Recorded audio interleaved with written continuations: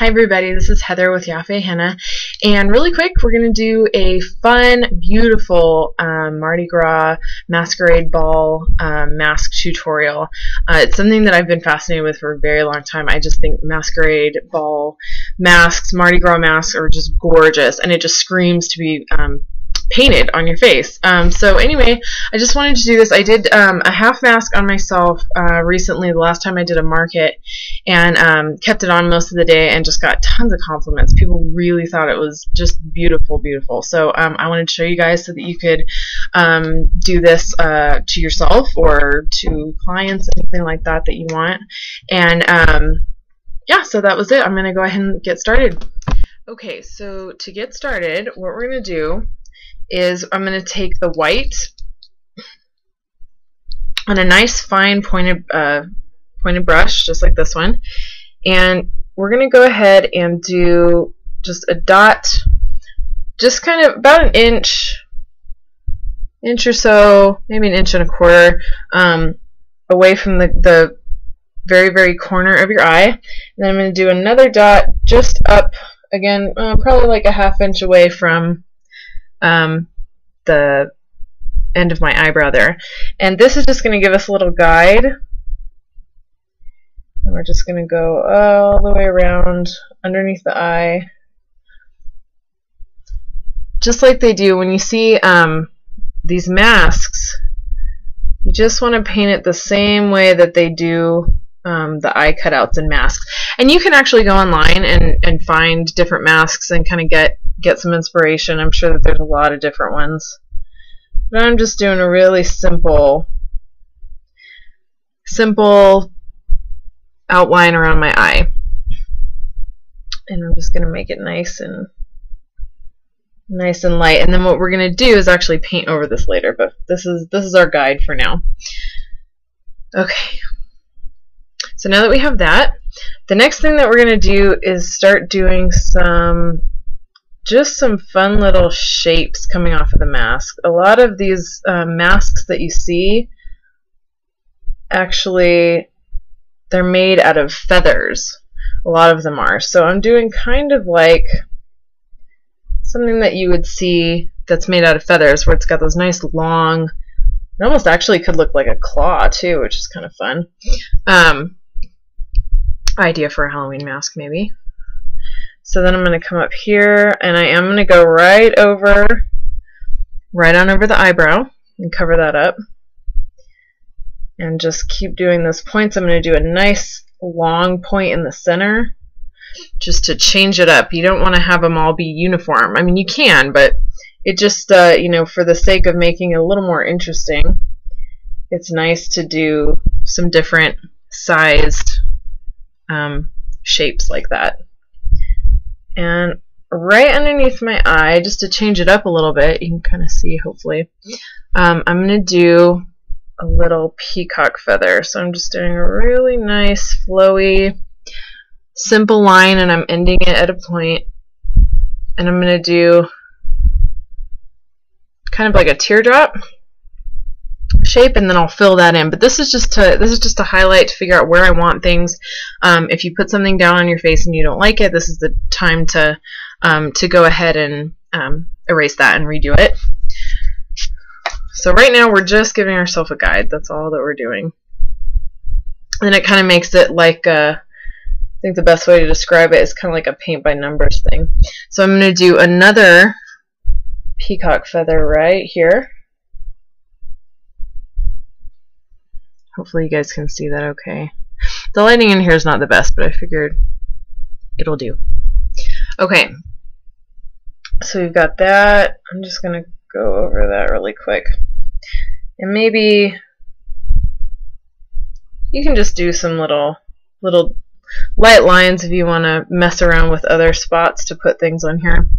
But for now, that's what I'm doing. And then the last thing that I'm going to do is bring a little line right across my nose here because I'm going to do a peacock feather across my nose and that's going to tie it in to the rest of my face here. Since we're doing a half mask and not a full mask. So actually we'll go ahead and do another little triangle claw thing over here too. Okay. So hopefully you can see that. So that's step one, just outlining the mask. Once you've done this a couple times, it goes by really, really, really fast. And I think when you're, you can do um, both sides on yourself, um, but I think that if you're doing it on a kid or somebody else, a client, it's going to go by a lot quicker than you think. And um, a good way to figure out um, how to keep it even, if you're doing both sides of it, you want it to be symmetrical, is to put um, dots where your little, you know, you do one side, you figure out, okay, that's about mid cheek, so you're going to go to the other side, put a dot right about where the point of that would be, and that's just going to help you. Doesn't have to be perfect, but that's going to help you along the way. Okay, so the next thing that we're going to do is add the color. So the colors that I picked, I'll show you here, are purple, ooh, kind of a, what is this?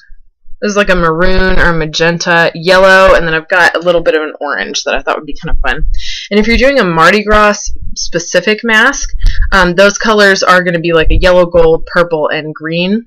Um, and there's more colors than that, but I think those are the typical um, typical colors for Mardi Gras. So I'm going to spray all my paints here. Go ahead and grab one of them, doesn't matter which one. And then I'm going to fill in all of the areas that I want to be this color before I move on to the next one. And that's just going to make make things a lot easier. And you can you can completely cover up the white if you want. I really hope you guys can see this okay. My camera keeps wanting to do interesting things. My computer's trying to lock the screen.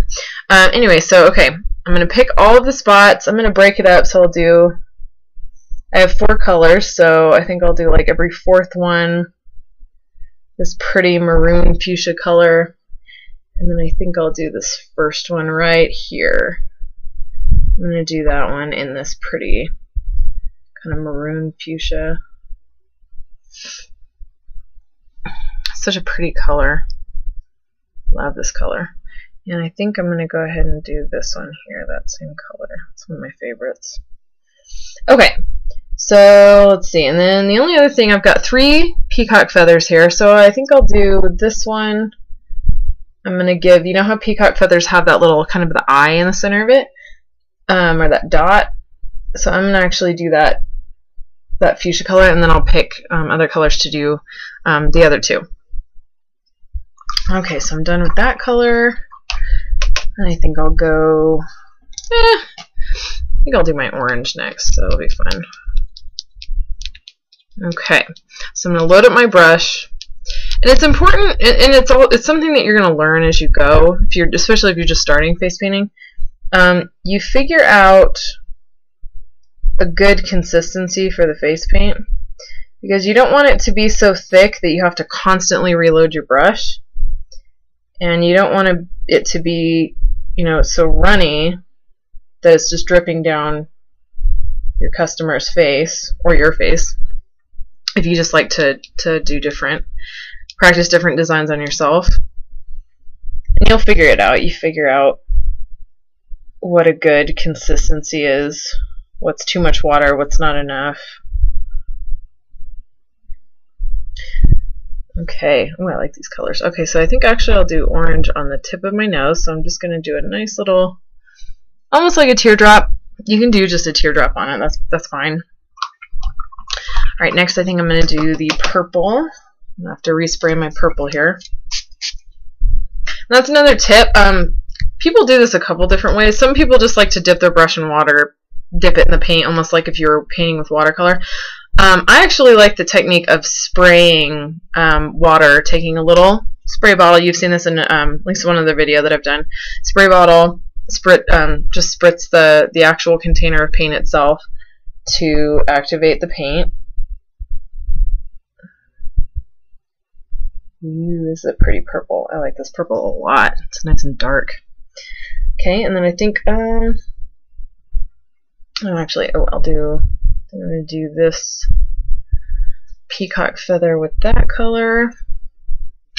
And then I think I will do, because I want to have something that's yellow. So actually what I think I'll do is take the purple and just do a nice little, just find random places to do some little swirlies or you do like vine things, but these masks always have a lot of different fun little things going on. So just get really creative with it. I mean, that's what this is all about. Is just getting creative and having fun with it. Okay. Do a little swirly right there. Okay. So we got that. And then the last color I'm going to do is yellow, and then we're going to get the black and outline everything.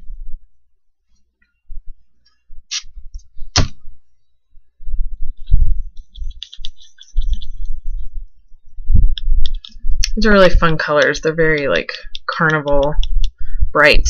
That's what I love about them. Okay, so I'm going to do this last big triangle. I'm going to do that in the yellow.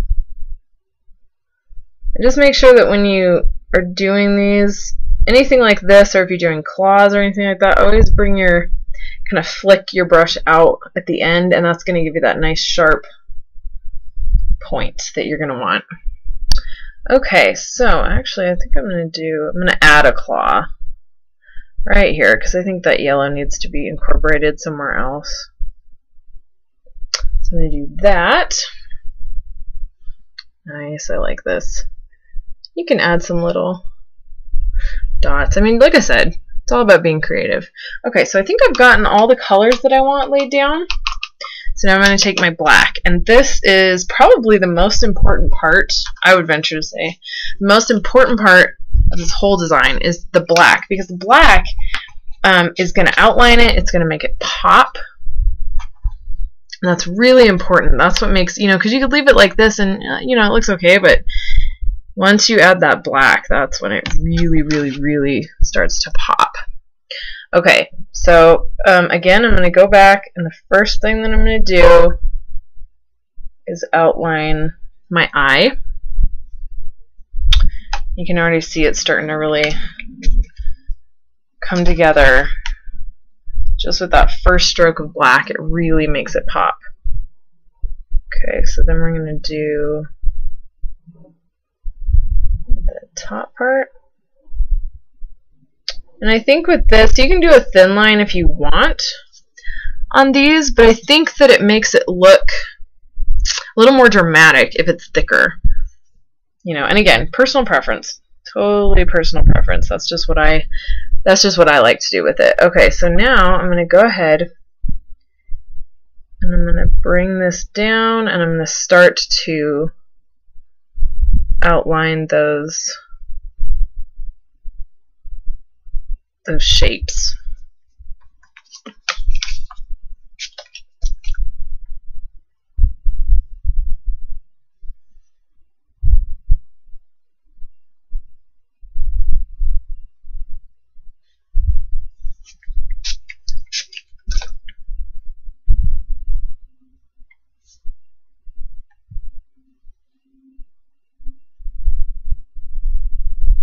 I think if I was doing this on someone else, it would probably go a lot faster than if I was doing it on myself. Well, than doing it on myself here. Sorry, my screen keeps wanting to shut itself off. So if you're wondering what the heck that weird light change is all about, that would be it. Okay, so I'm just going to go ahead and get that. And you can do um, you can do a few different things with these. You can um, you can go ahead and um, if you have little gems, you can put gems on the on the tips, all the tips of these things. You can do um, you can do a lot of different things. You can add little swirls or vines or something like that coming off of them. There's a lot of different options with these with these masks. I think and look definitely um, go online if you're really interested in trying this um, you know use my techniques as as a um, you know as a guide for a, an easy way to to lay everything out But definitely go online and uh, and look up some masks. You know, you might find one that totally inspires you to do something completely different and crazy, and that's awesome. So definitely keep that in mind.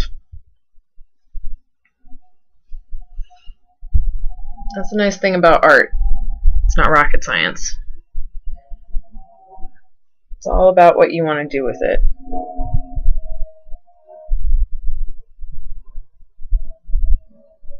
I get to joke about rocket science now because that's what my husband is studying.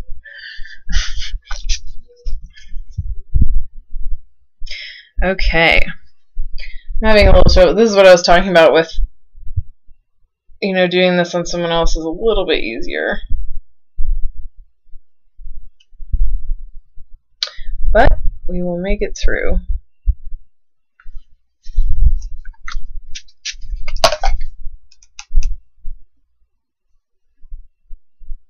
My hair keeps getting in the way here.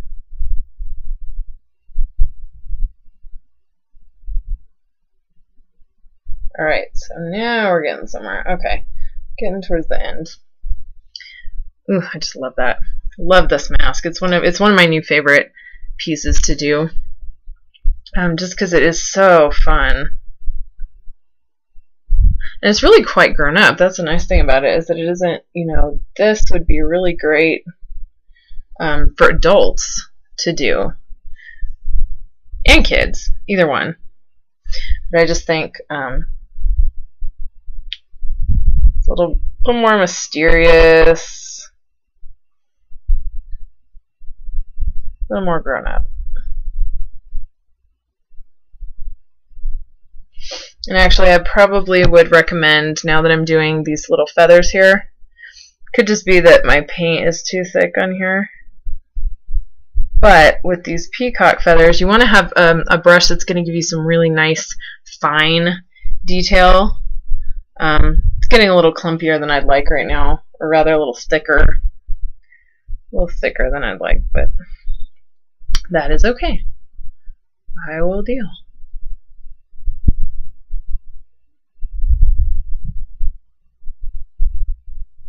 And with the peacock feathers, just hopefully you can see this. You know, I'm making them kind of squiggly. Some of them are kind of overlapping each other. Just play around with it. You can see that there. Okay, oh, and I almost forgot this guy right here.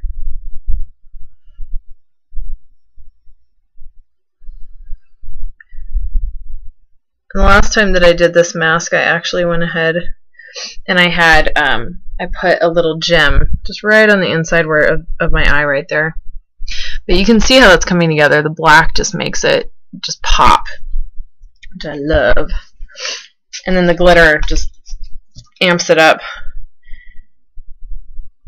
Amps it up to a whole nother level. Okay, so now I'm just going to do some little peacock feathers here.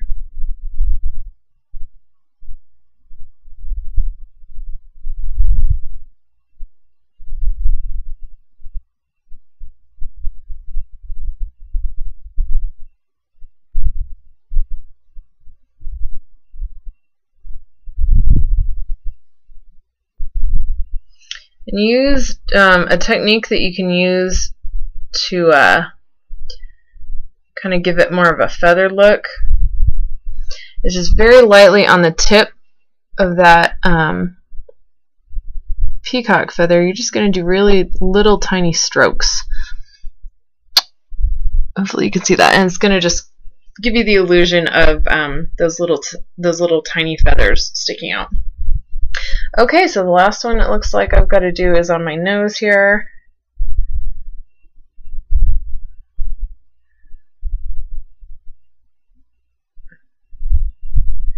Again, I'm going to flick. I really wish I had a better camera. I'm going to flick that the feather so that it gives me a nice little Nice little feathered look there. Okay, so we've got that. Okay, you guys. Um, I went ahead and I dressed this up. You can see that I added um, little extra stuff, and all I did, you guys, was take um, the black and I just in between. You can see in between those triangle um, shapes that we did at the beginning, I just did these little flicks of black and it gives it just even more of a feathered look, which I think makes it look even a little more authentic. Um, and yeah, just add the glitter, and you can just see. I mean, this is this is going to be a really popular um, new design if you add it to your repertoire. I know I'm going to add it to mine. I hope that you guys um, enjoyed it and you're going to try it. Um, thanks so much for watching. Rate, comment, and subscribe, and I will catch you guys later. Bye.